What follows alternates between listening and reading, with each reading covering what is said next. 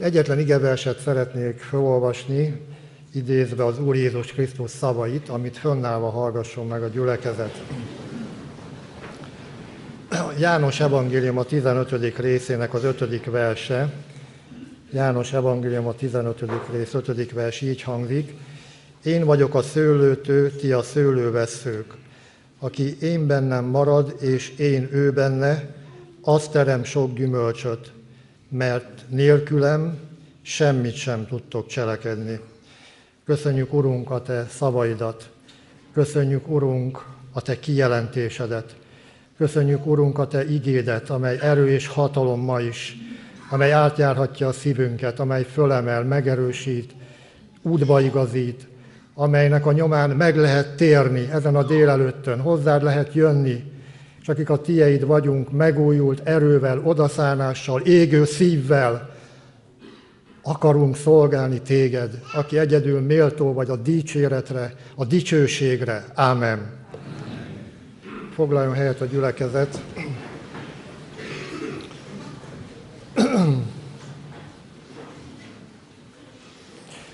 Amikor 2012-ben átadtam a szolgálatot ebben a gyülekezetben 17 évi lelkipásztori munkálkodás után, és egyház más területein is szolgálatok, illetve itt azért ebben a közösségben is.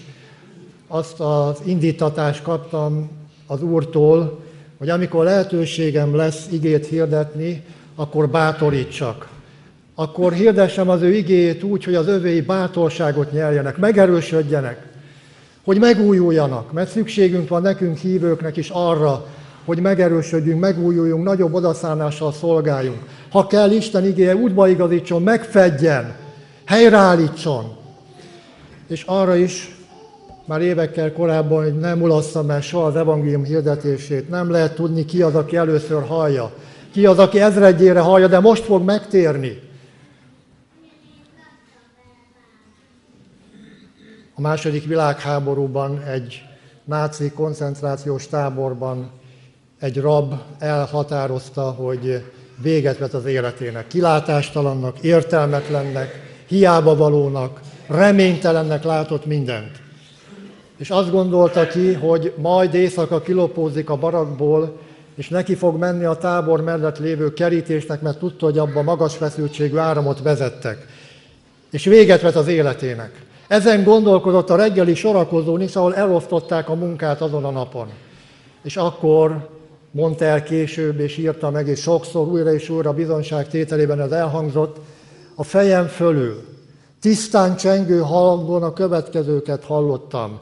Jézus Krisztus mondja, én vagyok a világ világossága, aki engem követ, nem maradhat, nem járhat sötétségben. Ez az ige mentett meg engem, mondta el később. Ez az ige mentett meg engem. Mert volt valami ismeretem, tudomásom a Bibliáról, Jézus Krisztusról, templomba is jártam, de nem hittem ebben. És akkor megértettem, hogy valaki törődik velem, valakinek fontos vagyok ebben az elesett, kilátástalan, reménytelen helyzetemben. Aki azt mondja, hogy ne járjak sötétségben, mert az öngyilkosság a sötétség útja. De ő tehet valamit értem. Nem lettem öngyilkos, túléltem a tábort, megtértem, és Jézus Krisztus követője lettem. Ez az ige mentett meg engem. Az Úr Jézus János evangéliumában olvashatjuk, több ilyen én vagyok kijelentést tett. Én vagyok az ajtó. Én vagyok a jó pásztor, a jó pásztor életét adja a juhokért. Én vagyok a feltámadás és az élet, aki hisz én bennem, ha meghal is él. Én vagyok az élet kenyere. Én vagyok az út, az igazság és az élet. Ha valaki menni akar az atyához, nem mehet csak én általam. És azért mondom el ezt, mert az az utolsó én vagyok kijelentése, János Evangélium a 15. részében, vagy én vagyok a szőlőtő, és annak a kijelentésnek, ahogy ő ezt elmondta, annak ott van az az összefoglalása is, hogy az lesz az én atyám dicsősége, hogy sok gyümölcsöt teremtek, és akkor tanítványaim lesztek. Mert nincs más értelme az életünknek, mint sem, hogy megismerjük Istent, átadjuk az életünket, és dicsőítsük őt, dicsőségére legyünk. Ahhoz azonban, hogy bátorítson bennünket ma, hogy gyümölcstermők legyünk. Hogy valaki ezt komolyan vegye, ahhoz előbb meg kell térnie. Azért mondtam el ezt a történetet. Addig, amíg valaki nem tartozik Krisztushoz, addig hiába beszélünk arról, hogy hogy kéne hívőnek lenni. Az első döntő lépés annak a fölismerése, hogy sem emberi jóság, érdem, bármire való hivatkozás, vallásos cselekmények, senki és semmi meg nem menthet az örök kárhozattól, a rettenetes, félelmetes kárhozattól, mert a Biblia világosan kijelenti, hogy mindenki védkezett és hiába van Isten dicsőségének. Nem tud magán segíteni, sem rajta más ember. Egyedül Isten, az ő fiában, az Úr Jézusban, aki emberré lett, eljött, meghalt a kereszten, hogy eltörölje a bűneinket, hogy megmentsen és megtartson bennünket. Utána beszéltünk arról, hogy mit jelent őt követni, mit jelent gyümölcstermő élettel élni, mit jelent az ő dicsőségére odaszánt élettel szolgálni. Úgy tehát Jézus Krisztus szava elhangzik ma is. Azt mondja, hogy jöjjetek én hozzám mindnyájan, akik megfáradtatok és meg vagytok terhelve, és én megnyugvást adok a ti lelketeknek. Azt mondja az Úr Jézus, hogy ha valaki hozzám jön, semmiképpen el nem küldöm magamtól. Azt mondja, hogy az én kezemből senki ki nem ragadhat titeket. Azt mondja, hogy térjetek meg, és higgyetek az evangéliumban, mert elközelített az Istennek országa. Az ő hívó szava hangzik. Hangzik ma is. Vár téged. Meg akar téged áldani. Meg akar téged menteni. A legtöbbet akarja adni, amire vágysz, és amit annyit kerestél évtizedeken át, az örök életet és az örök boldogságot.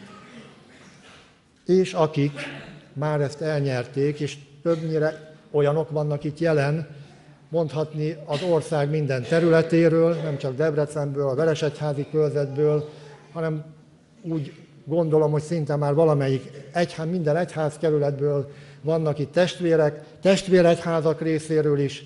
Igen, akik az övé vagyunk, nekünk szól az, hogy gyümölcstermő élettel dicsőítsük meg őt. Úgy olvassuk a 15. rész első versében, azt mondja az Úr Jézus, hogy én vagyok az igazi szőlőtő. És azért még hadd térjek ki néhány mondat erejéig arra, hogy ez az én vagyok. Miért okozott akkora megdöbbenést a hallgatóinak, a körülötte levő zsidóknak? Miért okozta azt, hogy meg akarták kövezni? Mert még azt tehették volna, hogy leborulnak előtte. A János Evangélium a 8. rész 58. részében találunk erről leírás, a 8. rész 58. versében, amikor azt mondja az Úr Jézus, így felelt az őt faggató, vele vitatkozó zsidóknak, bizony, bizony, mondom néktek, mielőtt Ábrahám lett volna, én vagyok. Ugyanis akkörül folyt a polémia, hogy ki is hát ő, mit mond ő magáról. És azt, mondja, azt mondják neki, hogy te nagyobb vagy atyánknál, Ábrahámnál, aki meghalt proféták is meghaltak. Kinek tartod magadat? Jézus így válaszolt, ha én dicsőíteném magamat, a dicsőségem semmi volna. Az én atyám az, aki megdicsőít engem, akiről ti azt mondjátok, hogy ti ismeritek, pedig nem ismeritek őt, én azonban ismerem. Ha azt mondanám, hogy nem ismerem, hozzátok hasonlóan hazuggá lennék, de én ismerem őt, és megtartom az ő igéjét. Ábrahám, a ti atyátok újongott azon, hogy megláthatja az én napomat, meg is látta, és örült is. A zsidók ezt mondták neki, 50 éves sem vagy, és láttad Ábrahámot? Jézus így felelt nekik, bizony, bizony mondom néktek, mielőtt Ábrahám lett volna, én vagyok. Már az is megrázó lett volna, azt mondja, hogy mielőtt Ábrahám lett volna, én voltam, de azt mondja, hogy én vagyok. És ez az a kijelentés, amit az örökkévaló tett, amit az Ószövetségben olvasunk, amikor ott áll Mózes az égő, de el nem égő csipkebokornál, és Isten azt mondja neki, hogy vedd le a sarudat, mert szent ez a hely, és menj és vezess ki az én népemet Egyiptomból, mert ki fogom őket hozni, kinyújtott karral és erős kézzel. És kérdezi Mózes, hogy hát mit mondja, kiküldött engem. És azt mondja, hogy mondd, hogy a vagyok. És mikor kérdezi a nevét, akkor az a négy héber betű szerepel a Szentírásban, ami közé a teológusok szerint magánhangzókat téve a Jahve név jön ki, és mindkettőben az a héber gyök van, az örökkévaló.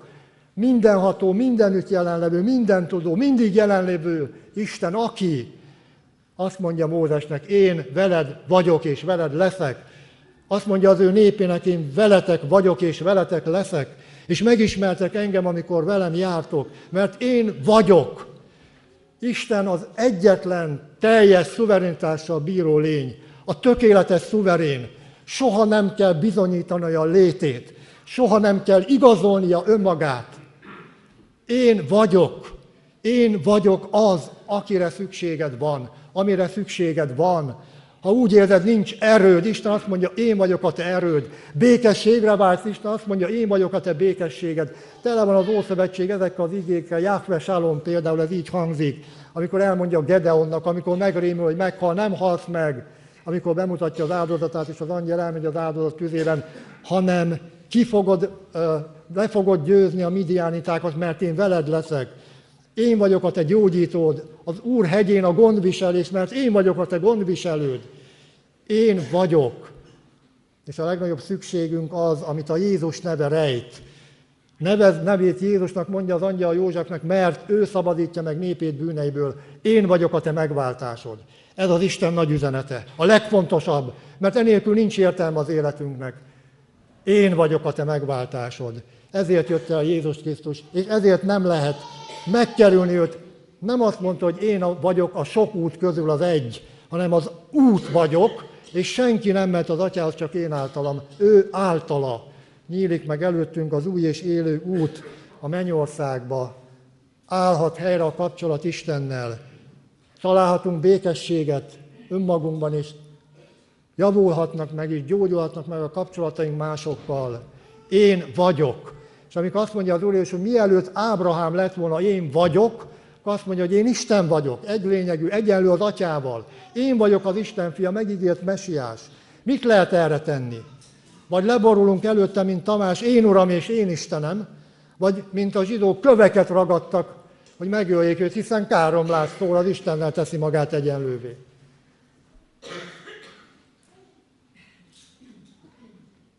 Ismeret az Isten igéből mert ez Isten üzenete hozzánk. És ha igaznak tartod, az a döntő lépés, hogy ráteszed az életedet. És ha igen, akkor azt mondja az Úr Jézus, én vagyok az igazi szőlőtő. Az én atyám a szőlős gazda, és ti pedig a szőlőveszők vagytok a szőlőtőn. Tudjuk, hogy az Ószövetségben Izrael jelenik meg sokszor így, hogy szőlőskert, szőlőtő, Később egész odáig jutott ez a makkabeusok idején, akik egy független királyságot tudtak alapítani, elszakadva a nagyhatalmaktól, hogy a pénzükre és a szőlőtőt tették. Ott volt a Jeruzsálemi templomon is Izrael jelképeként. Sokszor szólnak erről a proféták, olvasunk a Zsoltárok könyvében, és valamikor Isten olyan szomorúan kell szóljon, például Ézsaiás könyv 5. részében, azt kérdezi, mit tegyek még szőlőmért, amit ne tettem volna meg? Mit tegyek még? Vártam, hogy jó szőlőt teremjen, és vadszőlőt termet. És azt mondja az Úr Jézus, hogy én vagyok az igazi szőlőtő. Vagyis, hogy az, ami Izrael küldetése lett volna, az most beteljesedik. Az elettínos szó van itt az igazi, a valódi, a nemes, az igazi szőlőtő, akiben most beteljesedik az Isten terve és ígérete. Én vagyok az igazi szőlőtő, és az én atyám a szőlős gazda. És ti vagytok a szőlőveszők. És azt is mondja, hogy maradjatok én bennem. Aki ugyanis nincs az Úr Jézusban, ki nem tartozik hozzának, nincs élete. Lehet, hogy itt él, sok mindent tesz és mozog, de Isten szemében halott. Élet-halál kérdésről van szó. Igen, tudom, hogy ez a Bacsó Benyámi lelkipásztor testvér elbúcsúzás a gyülekezetünktől, és egy új szolgálat kezdete, egy új területen a Veresegyházi körzetben, és ezt nem felejtettem el, és ez nagyon fontos is. De itt, itt arról van szó, hogy örök életed lesz, vagy a kározatra még. Itt arról van szó, hogy ott vagy-e az igazi szőlőtől, mint szőlővesző, vagy nem. Itt erről van szó. És nem tudom, hogy meddig tart még a kegyelmi, de Isten azt mondja, Jézus Krisztus kijelentette, adtam időt a megtérésre, a jelenések könyvében olvassuk de ő hív és vár, erről van szó. Élet-halál kérdése, hogy ott vagy-e vagy nem. És ha ott vagy, akkor pedig maradjatok én bennem, ezt mondja az Úr. A menein, menó szavak, amit maradni, kitartani, helytállni, így nevezhetünk, meg így fordíthatunk. Ebben a részben 11-szer fordul elő, János apostolnál az evangéliumában és a leveleiben 67-szer, és összesen 112-szer.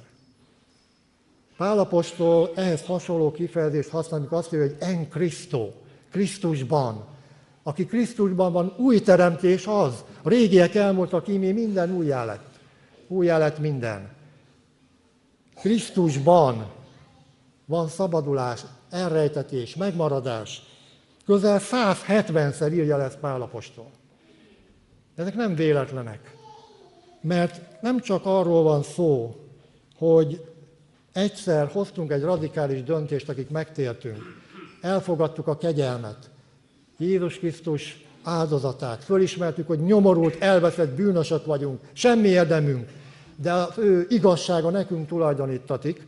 Hanem arról van szó, hogy ez egy folyamatos, megszakítás nélküli, naponta megújuló, megerősödő kapcsolat. Mert elmondom ismét, mit ér az tegnapi hit, az egy héttel ezelőtti szeretet, az egy évvel ezelőtti hűség. Ma kell legyen, ma is igent mondanom az én uramra, aki megmentett, és meg nem én tartom meg magam, nem te tartod meg magad, a szőlőtő tartja meg a szőlőveszőt. Ő tud megtartani, de maradjatok én bennem. Legyetek kitartóak, álhatatosak, aki mindvégig álhatatos üdvözül. Azt mondja az Úr Jézus a jelenések könyvében, hogy légy hű, és ez ugyanaz szó, mint a hit. Légy hívő, mint halálig. És neked adom az élet koronáját. És hadd mondjam el ismét azt, amit már tudtok és idéztek, Rutel Mártontól átvéve, hogy folyvást újra kell kezdenem az új ember életét. Ma, most nem akarok más, mint Jézus Krisztust. Ahogy Pálapostól mondja, nem akarok tudni róla másként, mint megfeszítettről, mert, mert ne legyen nekem másban dicsekedésem, csak az Úr Jézus Krisztus keresztében, aki által megfeszített számomra a világ, és én is a világ számára, vagyis az én életemet döntő módon, alapvetően, lényegileg ezt határozza meg Jézus személye és az ő keresztje. Középkorban Dulcis memóriának nevezték, édes emlékezésnek ezt a fölhívást, hogy mi azt a tanítást, amit az Úr Jézustól vettünk, véssük emlékezetünkbe, hogy Péter apostol írja, hogy emlékeztetéssel ébrezgetlek titeket. Az Úr Jézus mondja az utolsó vacsorán, az úrvacsora szereztetésekor, ezt cselekedjétek az én emlékezetemre. A hitvallásunkban, ami foglalata a mi hitünknek. De mit ér az, hogy én ismerem az apostoli hitvallást, a Níciai konstantinápai hitvallást, a Heidelbergi kártét, vagy összes baptista hitvallást, ha itt és most nincs élő hitvallásom, amikor megkérdezi Józsi, hogy ma döntsétek el, hogy kinek akartok szolgálni, az Úrnak vagy bálványoknak. De én és az én házam népe az Úrnak szolgálunk. Vagy amikor megkérdez az Úr Jézus Péter apostoltól, ti is el akartok menni, és azt mondja, hogy kihez mehetnénk, örök élet beszéde van nálad. De már a második, harmadik században is ezt vallották az ókori keresztények, hogy a szó csak úgy maradhat meg az egyházban és a gyülekezetekben, ha a szövegeket, vagyis a bibliai szövegeket a Szentlélektől áthatott szent élet kíséri.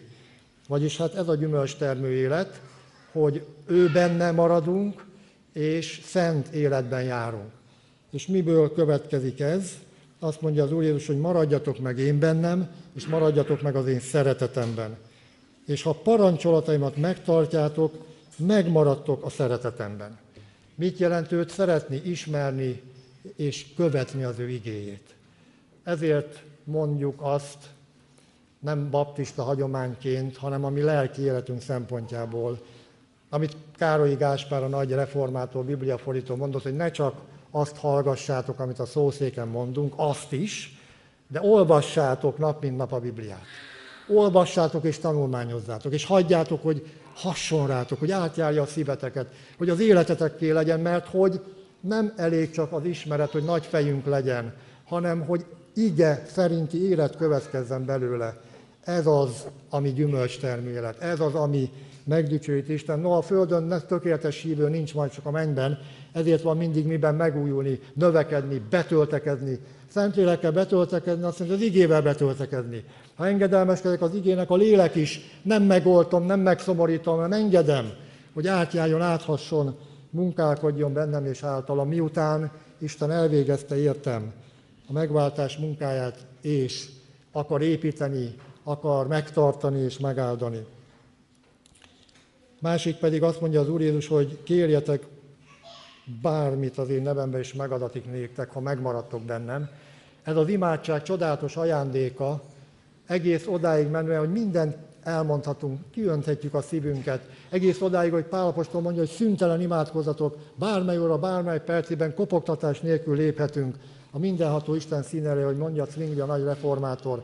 De hogy bármit kérhetünk, mert megadatik, az a János levelében világossá válik, ha az ő akarata szerint kérünk, de a lélekkel telt ember, a lélek vezetés által élő ember már nem is kér mást tulajdonképpen, mint amit Isten tervezett, amit, amit indít az ő szívében. Hogy lehet benne maradni? Ezáltal, az ő igéje, az imádság által, azzal a naponta megújuló odaszállással és engedelmességgel, a közösség megélésével azt mondták az első keresztényekről, nézzétek, mennyire szeretik egymást. Azt mondja az Úr, hogy arról ismeri meg a világ, hogy tanítványaim vagytok, ha egymást szeretni fogjátok. És hát mondhatnám azt egyébként, azt gondolom, hogy ez bátorítás, megerősítés, fölelevenítés mindannyiunk számára. Miért élek? Mi az életem értelme? Mi a hívő életem küldetése? És ezt most mondom Bacsó Benyámi lelkipásztor testvéremnek az új szolgálati helyen. És kívánom is azt neked, feleségednek, nektek, az egész családnak, hogy legyen egy gyümölcsöző életetek ott. Legyen Isten dicsőítő életetek ott. És azt kívánom a debrecenieknek, a Beresegyházi körzetnek, és minden jelenlevőnek itt, nem tudom én, Győrtől meddig, lassanként már Csikágóig mondhatom mindent, hogy, hogy akik itt vagyunk, lehet, hogy Brassótól is mondhatom ezt, mindegy, lényeg ez, gyümölcstermű, Isten dicsőítő élet, akkor vagyok a helyemen. Azt tettük föl magunknak az újévi első igehirdetéskor, helyemen vagyok, ott állok, ott vagyok, ahova Isten állítok, és abban a szolgálatban, mert boldog az a szolga, akit abban a munkában talál az ő ura, ahol állította. Lélek gyümölcse úgy is megfogalmazható, hogy Galáciai levélben olvassuk, szeretet, öröm, békesség, türelem, szívesség, jóság, hűség, szelítség, önmegtartóztatás, mindezek jelenjenek meg, megjelenhetnek a mi életünkben. És hadd idézem még a zsidókhoz írt levél 13. rész 15. versét, általa vigyük Isten elé a dicsőítés áldozatát mindenkor, azaz nevéről vallást tévő ajkaink gyümölcsét. Ugyanis, hát ha az igét megismerjük, az igét a szívünkbe fogadjuk, és azt igyekszünk megélni, akkor ez a gyümölcstermés megjelenik. Például valaki azt az igét hallja, hogy le ne menjen a napati haragotokkal, és ezt megteszi, föl fog szabadulni a lelke. Azt az igét hallja, hogy viseljétek el egymást, vagy hordozzátok el egymást, vagy szenvedjétek el egymást szeretni, lehet, hogy van, amikor így kell, és bocsássatok meg egymásnak, ahogy Isten is megbocsátott Krisztusért, kapcsolatok gyógyulnak meg, állnak helyre, és felszabadul a lelked a szolgálatra. Folytathatnánk a sort, hogy legyetek a tiszteletadásban egymást megelőzők, hogy a, amennyire rajtatok áll, mindenkivel békességben éljetek, hogy gyakoroljátok a vendég szeretetek, hogy legyetek a lélekben buzgók. Mit ér a félszívű kereszténység? Hát nem arra néznek, nem azt várja a világ, hogy odaszánt életű, példamutató gyallósága ellenére, gyengesége ellenére, az Istenre mutató, Jézus Krisztus dicsőítő, a Szentlélektől láthatott életű hívők járjanak ebben a világban, a gyülekezetben és a körülöttünk lévő emberek felé víva az evangéliumot, amit mond az Úr, hirdessétek az evangéliumot minden teremtménynek. És az a lelkipásztor, aki ott a koncentrációs táborban volt, és mert hirdette az evangéliumot, magánzárkába csukták. És ha elkezdett hosszabban beszélni, bementek az őrök, és agyba főbeverték. Ezért, amikor mozgást hallott a téren, egy kiáltott ki legalább, mert azt már nem lehetett megakadályozni. Nevéről vallástévő ajkai gyümölcsét vitte, és életet mentett annak az egy igének a kikiáltásával is, amit elhangzott. És ő onnan nem jött ki. Ő mártírhalált halt. De tudjátok, hogy a mártírok vére magvetés. Amíg lehet, amíg időd van, hirdesd az evangéliumot. legyen gyümölcstermő az életed. Azt mondja az Úr Jézus, ezeket azért mondom nektek, hogy az én örömöm legyen bennetek, és örömötök teljessé legyen. Lehet, hogy itt most majd sok könny is fog hullani, visszaemlékezésekben sokféle érzés járatja a szívünket, de én most azt mondom, hogy legyen az öröm. Legyen ott minden nap, ma is és minden nap. Mert ugyanis amiről az Úr Jézus beszél, az az elveszíthetetlen, körülményektől nem függő öröm, amit azáltal nyerünk el, hogy az övé vagyunk. Az, hogy föl van írva a neved a mennyben, hogy örök életed van, hogy Krisztushoz tartozol, a szőlőtőben szőlővesző vagy, hogy, hogy az a kiváltság adatot, hogy Jézus Krisztusért az Atya gyermekévé fogadott, ez nem függ a körülményektől. Ennek az örömét semmi nem ronthatja meg. Elért mondja és írja Pálapostól a filippieknek, örüljetek az Úrban mindenkor, ismét mondom, örüljetek. Úr Jézus azt mondja, azért mondtam ezt nektek, hogy a ti örömötök teljessé, hogy az én örömöm legyen ti bennetek. Azt a félmondatot elmúlt évben költözött az Úrhoz Gálajos testvér, ami az ötödik vers végén van, annyiszor elmondta igehirdetésben, bizonyságtételben, különféle csoportjaiban, azt tudni, hogy nélkülem semmit sem tudtok cselekedni. Semmit. Maradjatok én bennem. Maradjatok én bennem. Én vagyok a szőlőtő, mondja az Úr Jézus Krisztus, ti a szőlőveszők, aki én bennem marad, és én ő benne, azt terem sok gyümölcsöt, mert nélkülem semmit sem tudtok cselekedni. Ámen.